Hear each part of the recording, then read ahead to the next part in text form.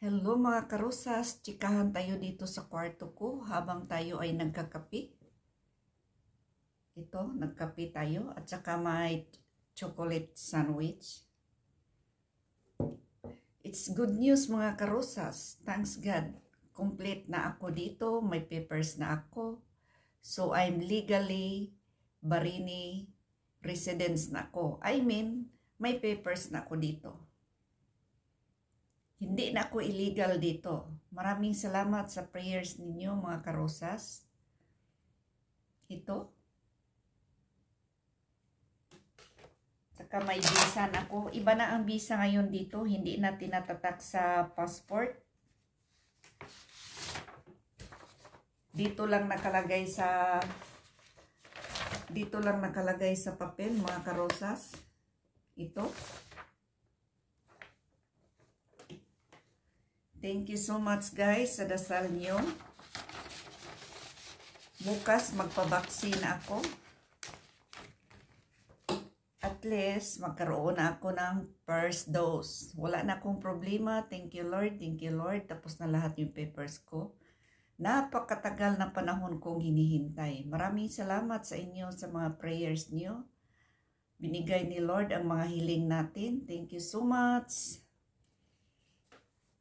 mahir nahihirapan sila magkuha ng papers ko kasi hindi ako dito. Hindi ako bali nahirapan talaga sila magkuha ng papers ko kasi bali tourist visa lang ako. Ang laki kaya ng penalty na bayaran ng amo ko. Buti nga yung time na na-expire na stranded ako dito o na-expire yung visa ko time na pandemic, nagla-lockdown. So, may less yung babayaran nila. So, medyo nag-less yung money. Kasi ang laking pera, imagine so, sa more than 2 years, 30 BD a month, 300 real a month. Sa piso is 300, uh, I mean sa piso is almost 4,000 a month. So, sa 4 years, ang laki ng pera. Ang sayang naman yun ng pera, di ba? Kahit kaya ng bayaran ng amo ko. So, parang sayang din ang pera.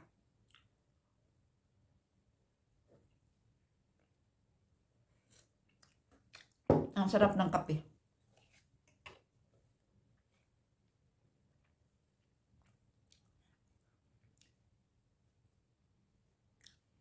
So, bukas, nagpabak magpabaksin ako kasi nagpa-register na ako. Bukas yung schedule ko sa first dose. So, thanks God talaga. Maraming, maraming, maraming salamat sa mga prayers niyo. At least wala na akong iniisip, wala na akong kinatakutan lumalabas kasi I'm legally Barini residence na ako. May papers na ako, may visa na ako. So at least pag mag-checking, mayroon na akong ipapakita. Maraming salamat din sa inyo. Ulitin ko, maraming maraming salamat. Nahihirapan kaya ako. Alam mo, noong Christmas, hindi ako lumalabas kasi wala akong vaccine. Pag Christmas kasi, ang daming tao nagsisimba.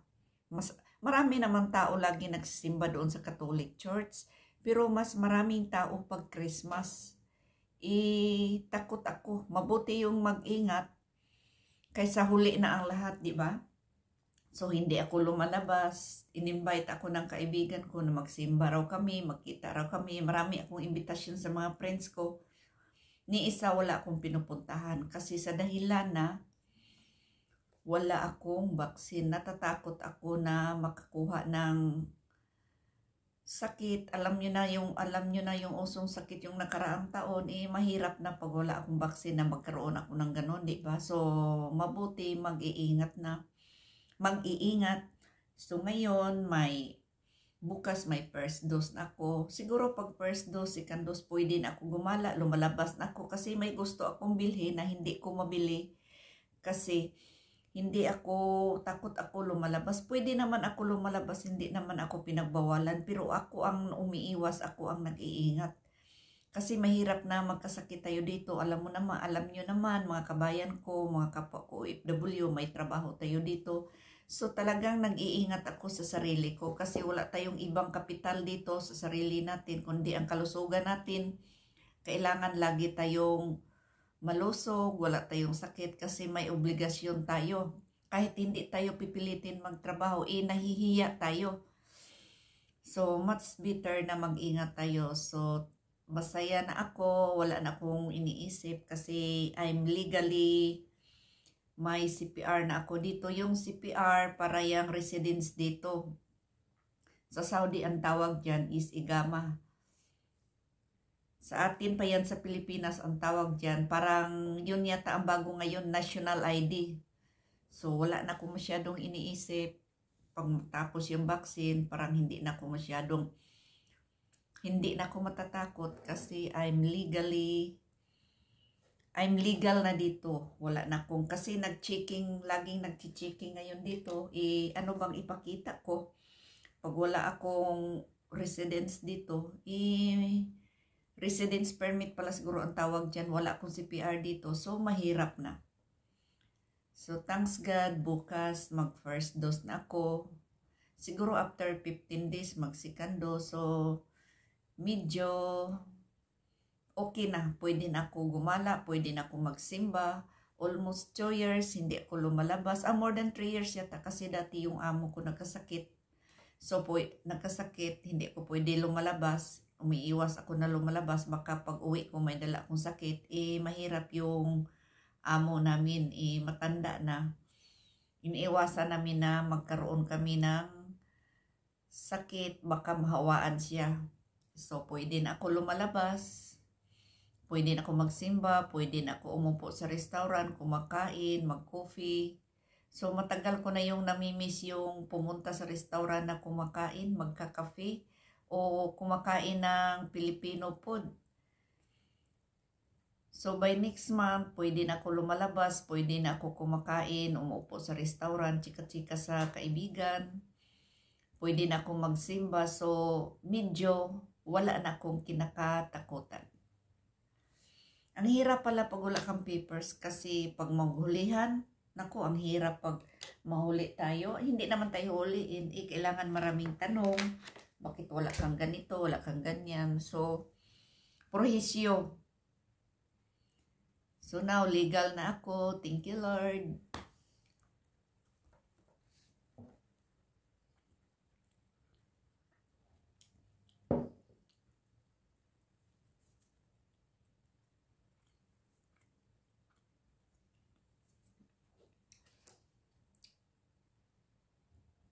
Sa almost 2 years, wala akong wala akong residence dito. Ngayon may residence permit na ako. So, medyo hindi na ako stress, hindi na ako masyadong malungkot. Kahit pagod, kahit na homesick ako, at least masaya na ako ngayon kasi may papers na ako.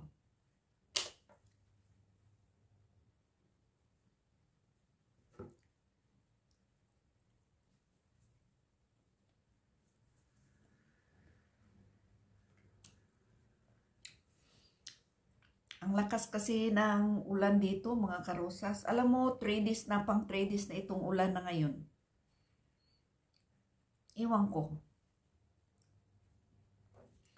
Tatlong araw na, hindi pa rin natapos.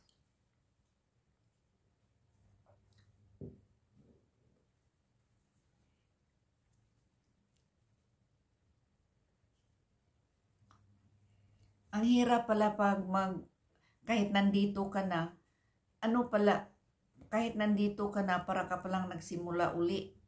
Kasi nag-medical. Unang ginagawa ko, nag-fingerprint. Ibang ang mag-fingerprint dito, kailangan maaga ka, may appointment. So, ina-appointment ako ng yung gumagawa ng papers ko. Eh, madali man lang at saka mabait yung mga babae doon na barini. Ang bait nila, nakasmile, ang bait. Tapos sa pag-medical, madali lang din ang, magpa-medical. So, kinunan ako ng urine. Tinicheck yung, kinun injectionan ako, may test ako kung wala ba akong mga sakit sa inside. Yung parang halimbawa, may, wala ba akong TV. Uh, tapos kinunan ako ng dugo sa right hand. Kung wala ba akong sakit. Thanks God. Kahit may edad na ako, still fit and healthy to work pa ako. Wala akong sakit. Eh, kasi naman talaga nag-iingat ako sa sarili ko. Iniingatan ko talaga ang sarili ko kasi mahirap magkasakit dito. Lagi kong pinilit kong kumakain ng gulay kahit hindi sila magulay dito. Naggulay ako ng kamunggay. Minsan bumibili ako ng sarili kong gulay para makakain ako ng gulay ng parang Pinoy food. Kasi kailangan yan sa katawan natin ang gulay para healthy tayo. Tapos, ang result sa medical, okay naman. Thanks God, healthy pa ako. Wala akong sakit. Kahit laging, kahit sobrang stress. Napaka-stress ko kaya. Kaya minsan, kasi minsan natulog akong luhaan, nagising na luha, luhaan. Kasi may minsan makatanggap ako ng mga balita sa Pilipinas, napasakit sa ulo ko at sa kadibdib ko. Minsan umiiyak ako habang nagtatrabaho kasi sobrang stress Nagpasalamat ako sa Panginoon, hindi niya ako pinabayaan, binigyan niya akong lakas. Sa medical ko, wala akong problema, fit to work pa rin ako. Thank you Lord sa lahat, hindi mo ako pinabayaan. Pasado ako lahat sa medical ko. Maraming maraming salamat talaga Lord sa lahat-lahat. Hindi niyo mo ako pinabayaan. Kahit maraming pagsubok sa buhay, still fit and healthy pa rin ako. Binigyan mo ako ng lakas kasi sa medical ko, talagang, thank you Lord, pasado ako.